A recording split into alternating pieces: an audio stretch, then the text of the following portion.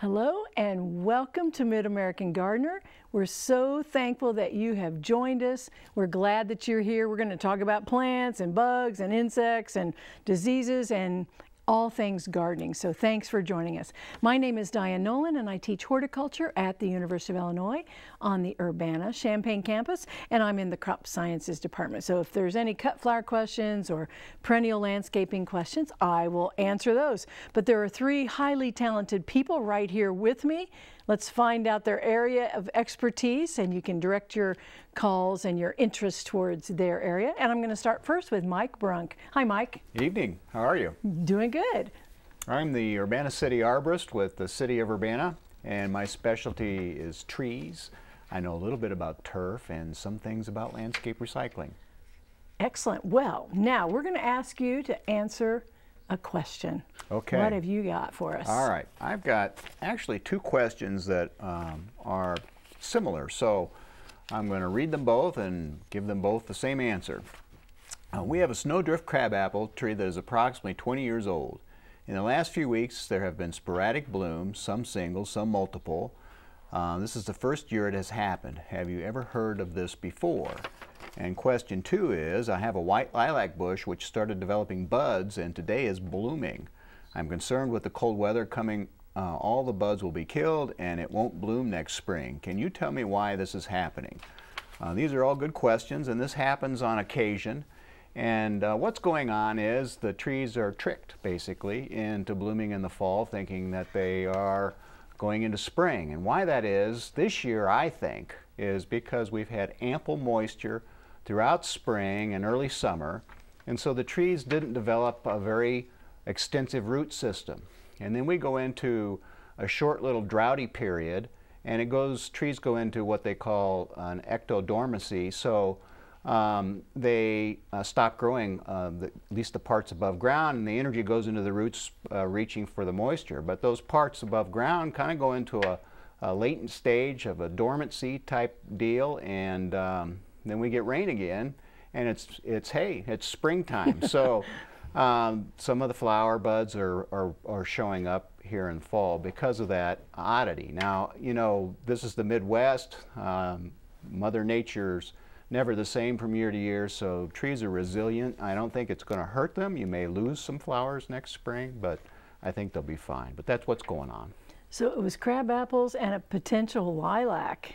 Right. Yeah. Interesting. And I was saying a few weeks ago, my bottle brush buckeye produced another flower, which is, I think, very unusual. So let us know what you have that's reflowering, but it's all the same answer. It is. It's getting tricked. Yep. Okay. Thank you, Mike, very much.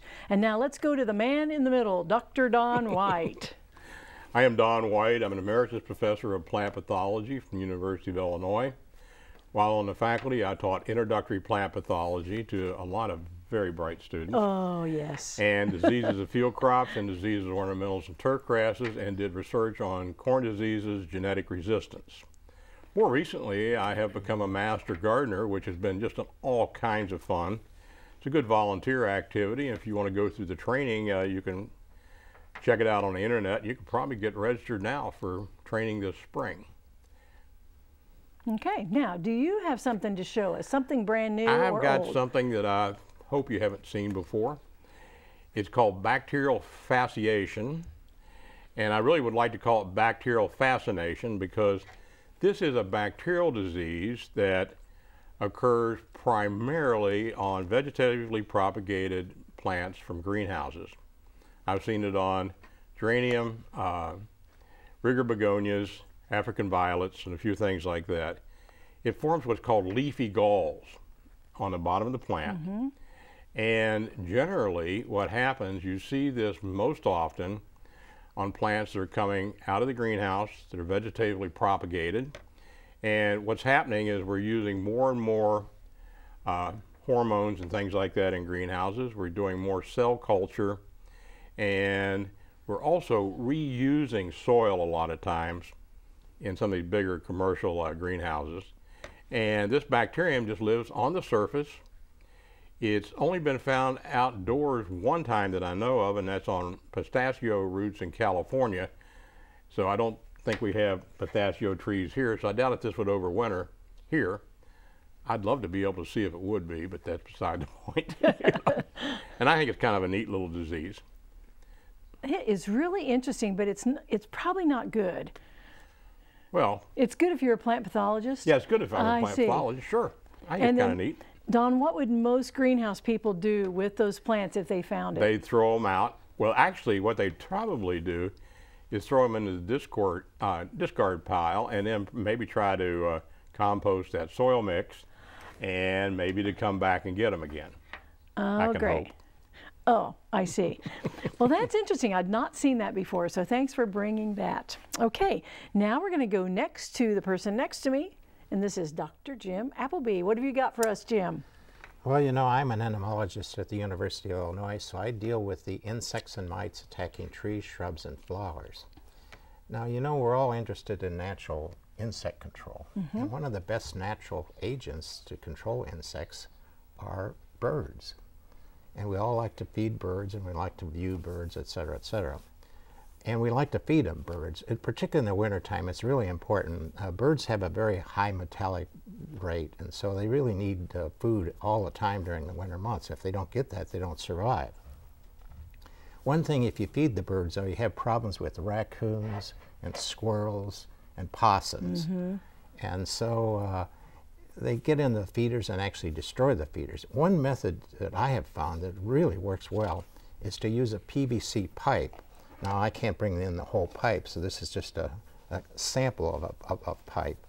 And we're going to have how to make this bird feeder next week on the website. Okay, so great. I can't give you all the details right now, it's too lengthy, but on the next week's website you'll have be able to read this about the birds. Essentially what it is though is a PVC pipe, and so the animals can't get their claws into this pipe and uh, they can't get up. Uh, when you do have this pipe, it's very important to have a, a, lid on the pipe because several years ago I had one of these and I did not have a lid, lid on it and gosh, a little screech owl fell down in the pipe and of course it died. So very important to seal the pipe. Then on this pipe you can attach bracts like this and then you can use your, uh, hang your feeders on these bracts. If we could show that picture of the one I have at home, um, that shows uh, what the actual pole looks like. And so that's what the pole looks like. And you can see I have quite a few different feeders on the, uh, on the pole. And it really has worked very, very well. I don't have any problems now with squirrels getting up into my feeders or raccoons or anything mm -hmm. else. So because they just can't grasp onto they the, can't grasp on, onto that and PVC. so yeah and so they just fall down and uh, it really works out well and it's really fun to feed birds and it to is. see what. And we have so many different species of birds in, in the area. So it's really a lot of fun. Good. So natural insect control. Natural insect. Thank you, Jim, very much. I appreciate that. Well, let's go to our section on the Did You Know part of the show.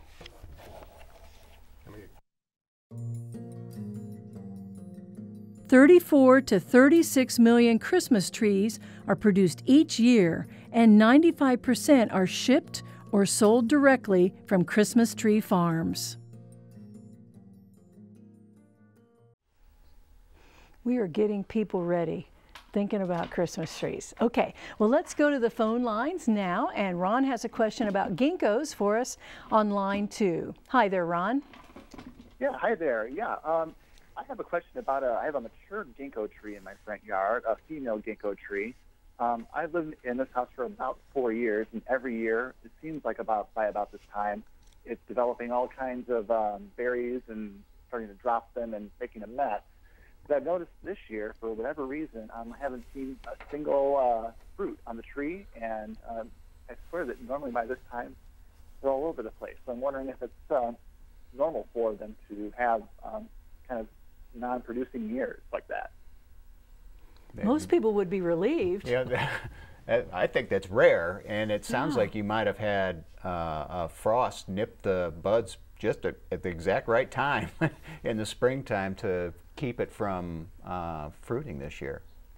I'm really surprised. I was talking with some of my students and um, how they would select them in, for eating. You know, so in their their culture, they would eat them, and I thought, oh, I should have asked how is it prepared in a certain way, and is Uh-huh. it before it smells? I don't know how it works, but I am very surprised. So Ron, you are fortunate. It Yeah, sounds that- like. That's an odd year. You'll probably continue to get fruit year after year. Okay, well, good. Thank you for that comment and question. Let's go to Ruth's question about thornless blackberries on line three. Hi, Ruth. Hello. Thanks for taking my call. You're welcome. I have um, two thornless uh, blackberry bushes. I planted one in the spring this year and one uh, in the fall last year, and they both had uh, berries this year. But my question is, is they have grown so much. Now, should I uh, tr- cut these off, trim them, or should I just leave them? Because they have really grown. Okay, we need Bob Skirvin here, but as I recall, they fruit on the, on the second year growth. And so you can wait a little bit. I usually do it more in spring, or you can trim them now, but I wait to see the darker, the ones that have turned a darker color, and the, the new ones you can tell they're a little shinier, and you trim out the old ones, and I usually do it in the spring, although you can do it now. Now I know that um, Bob also talks about trimming them back to, you know, not be 10 feet long, but you can trim back the tips. But otherwise, take off the old growth and let the new growth come along. So I don't know if anyone wants to chime in, but that's how I recall, and that's what I do with mine. I trim them in spring, the old canes. And you can tell them, they will almost break off too. So you can decide how uh, energetic you are, whether you want to do it now or in the spring. Okay, thank you, Ruth, for your question on thornless blackberries. Let's go to Pat's question, and it's about roses on line five. Hello, Pat. Hello, and thank you for taking my call. You're welcome. I have a climbing rose bush, and I didn't cut all the roses off because they were too far up for me. And they mm-hmm. had developed like a red seed ball on them. Is Oh. that really a seed? That is rose hips. It's after the plant, you let the flower go, it develops rose hips. I have a lot of rose hips. It's a source of vitamin C, and people use them in teas. I use them for decoration uh, as well. You can use them for vitamin C. So some years they don't produce them as much. I think this year is a good year, unlike the ginkgos is producing. So you have rose hips. That is what you hear when people say that. It's after the rose has flowered. Okay, well, thank you, Pat. That's a, a really beautiful thing. Looks great with leaves and other, you know, gourds and things as well. All right, let's go to a question by uh, from Pat, or no, from Kay on line six about a pine tree. Hi, Kay. What is your question? Hello, I had an arborist come and look at my neighbor's pine tree about two and a half years ago. It has uh, dead needles on it. There's a row of pine trees. This one seems to be the only one that has a problem. They told me that's just the nature of a pine tree. In listening to your program, I thought one of the guests on there stated that some of the, uh, it looks like a white pine. Some of those did have a disease, and I would like to plant something in an area uh, right kind of across the fence. Didn't know if I should. What's going on? Should the tree be cut back, cut down? Can I plant something? Okay, Mike, I'm looking at you. Okay, well, the best thing you can do when you've got a hedgerow of pines and you want to plant more pines uh, is to mix it up. So maybe some spruces, uh, concolor or uh, Norwegian spruce or something different because if it's a disease uh, with that particular tree and you plant the same kind of tree, more than likely it's going to spread to that tree. But it's unlikely if you plant something different. So Really, to know the, the exact answer, though, we have to key out what exactly is wrong with that particular tree. What kind of a tree is it? Is it a white pine? Is it a Colorado spruce? Uh, and then that would guide you possibly on uh, what you should plant, what you shouldn't plant, depending on what kind of tree it is and what kind of probably fungal disease it has. And Uh, I'll jump in because the last several weeks we have been talking about diseases on blue spruce specifically. So it hasn't been pine disease, it's been everything that blue spruce gets. You know what the white pines are doing now, though. Well, they're yeah, the white pines are just dropping their Yeah. their two-year-old needles. So that's what she needs to know as well. So, and that's on the inside of the white pines. Mm-hmm. You'll see the needle drop right now, and that's just um, uh, a, a typical shedding. There's nothing wrong with the, if it's a white pine, with the white pine. It kind of yellows and they drop the needles on the inside of the tree. and you can like- tell that the older the older is what's dropping, not the newer. Right. It's on the inside, not the outside. And it sounds like the arborist said it was just a natural thing, but make sure that it is the second year. So, but anyway, good, So the good tips answer. are still green? These are not dropping from the inside. They are clear out to the tip. And Okay. it's not my pine tree. It's my neighbor's pine tree. Okay, do you know how many uh, needles you have per fascicle? In other words, you- Oh my goodness. Are they soft? Are they soft needles or are they long pointed no, ones? No, they are very coarse. Pointed, Oh, sharp. okay, you might have pine wilt there. It's a nematode Yes. disease that uh, has killed out lots of Austrian and red and Scotch pine, and it's very deadly. Mm-hmm. It's reported in the literature on white pine, but it I've never seen one. So if and white pine a lot of times does fairly well in terms of disease resistance. And uh, so if you wanted to plant a pine, I think I'd select white pine. and then go with fir and you know other things, but not They don't like Colorado ice storms. spruce. No, they don't like ice. Very few But pines no- do. if you have the space, Norway spruce is beautiful. Oh, they I are. love concolor fir when you mentioned that. Or uh, f- uh, uh, limber pine. Yes. Very tough. Mm-hmm. It looks like a white pine. So just avoid anything long and pointed. Austrian, Scotch. I'm surprised they live this long. yeah. I mean, And I'd avoid Colorado blue spruce because of Absolutely. Rhizosphaera needle, needle cast. So Okay, so do a little homework, but these are good suggestions. So thank you for that question. That was very good. We'll do one more question, and let's go to Mark's question on line two about oak gall. Hi, Mark. Hi, how are you doing tonight? Doing great. And your question. Uh, we have several oak trees, and we have the uh, oak gall in it and the oak gall wasp. And I'd like to know if there's any procedure to get rid of that, protect the tree. Okay, Jim, do you want to take it away? Well, would you describe the appearance of the galls? They're large, round, hard balls. And they're on the branches? right. Yeah, that's the horned oak gall, and I'll tell you, there's really no good treatment for that. Uh, we do find that some trees are resistant to galling. Uh, sometimes you'll find a tree that's heavily infested, and then right next to it is one that's completely free of galls. But uh, there's really no good treatment for that, unfortunately. And uh, if you go in the state, uh, particularly in, in our state, uh, about the middle of the state around Mount Vernon, it's extremely serious in that area. It actually is killing some of the trees. But uh, unfortunately, there's just no control of it known yet. Okay, well, we're sorry to pass that along to you, but that news. is the answer.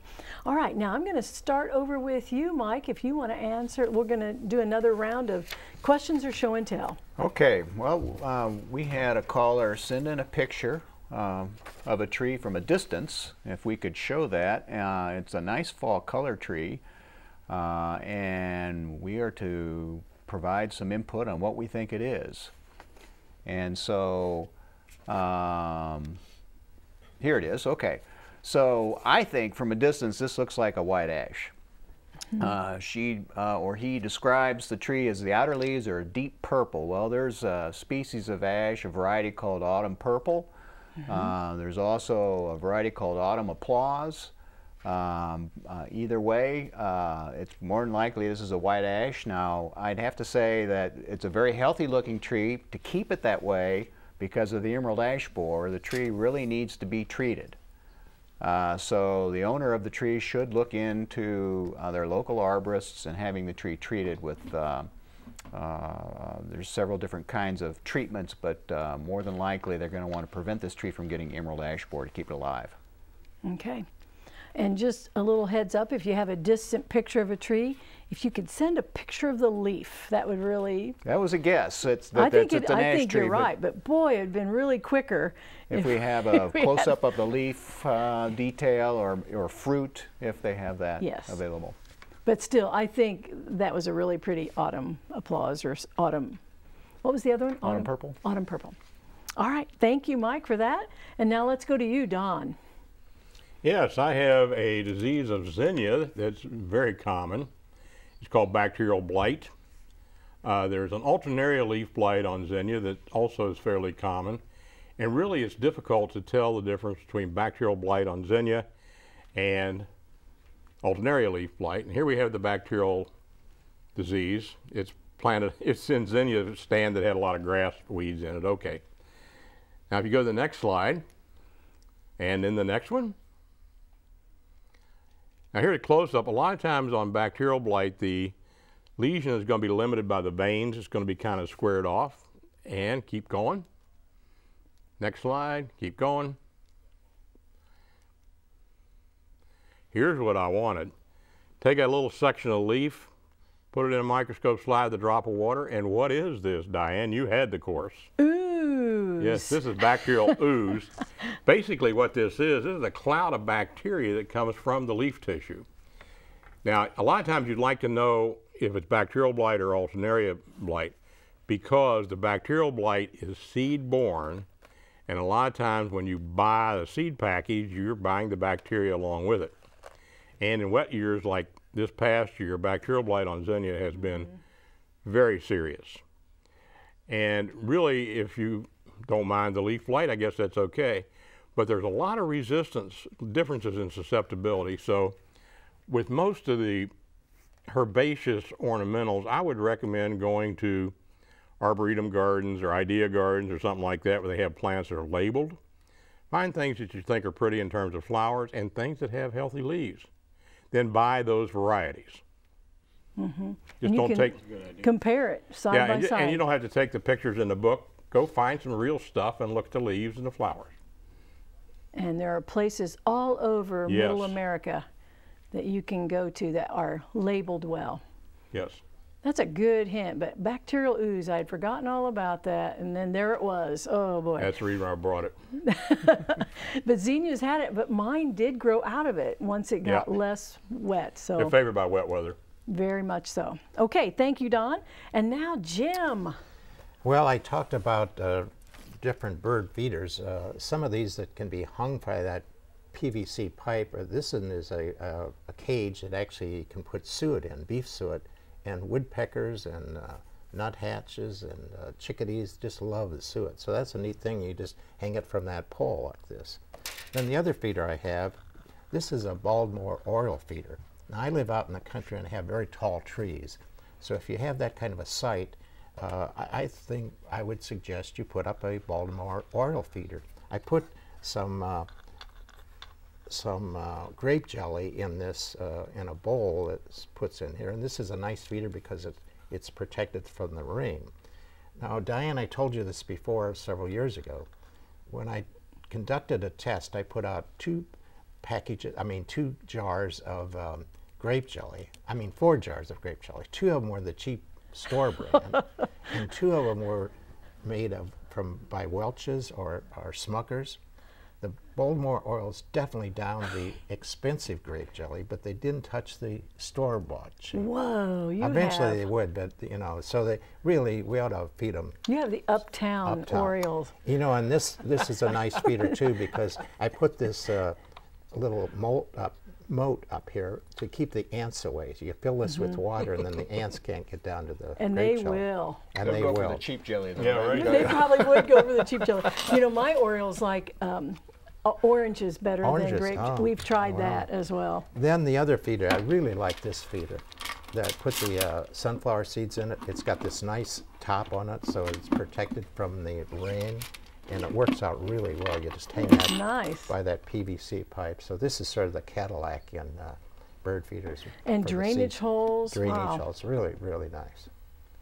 It is so fun to It is to, to watch them and see what birds you have. Yeah. And if you have this, they will come, and you don't even know they're in the area. generally s- tell people that they want Orioles, they need to get the feeder up with grape jelly by the by the middle of April. They generally come the last week in April, but they're beautiful birds. I have generally three pairs of Baltimore Orioles every year. That's great. I think we had two pair Two pair, this year, and it's it's just really fun to watch Yeah, it. it really is.